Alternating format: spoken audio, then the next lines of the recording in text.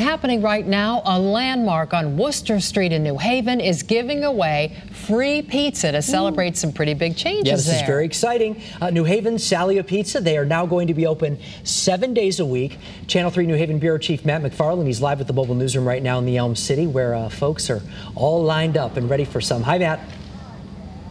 Hi there, Mark and Denise. Who doesn't like free pizza? Plenty of folks here in the Elm City are geared up for it. They've had a line outside of Sally's since about 11 o'clock this morning, about a half hour before they open. For years, it was always closed on Mondays and Tuesdays. Well, now customers and their fans can get their fix seven days a week.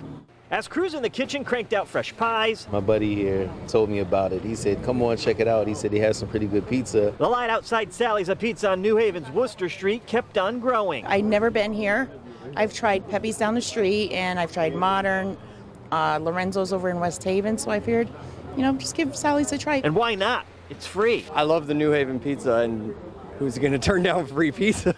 That's right. Today and tomorrow, Sally's is giving away free small and medium one topping pies to those dining in as they celebrate being open seven days a week for the first time. We just want everybody to be able to experience it. The last thing we want is for somebody to travel really far, from really far, come here and then have to find, you know, come here specifically for Sally's and then have to go somewhere else. The family behind Sally sold the business in late 2017, but Rick Consiglio and his brother Bobby stayed on, continuing to serve up those piping hot pies that have been coming out of this coal-fired oven since 1938.